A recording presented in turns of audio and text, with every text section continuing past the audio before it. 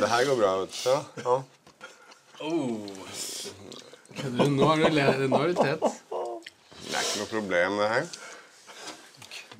Jeg tror vi tar de fem bonussekundene. Sånn. Nå er ikke noe mer rødt igjen her. du må være forsiktig, Kjetil. Forsiktig, mann. Sånn. Er du gæren?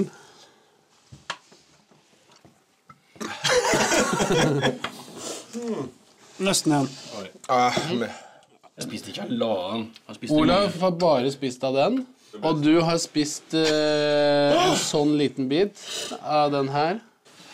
Men også, også ser du på den her. det her er kanskje ikke helt sunt, det her. Eller?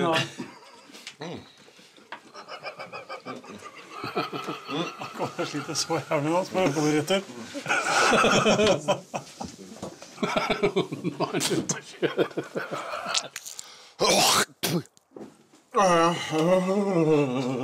Det brenner i Altså, jeg, det hele som skjedde med trynet. meg, var at jeg begynte å bli svimmel, så jeg trodde jeg skulle svime av. Det var da jeg ble smånervøs.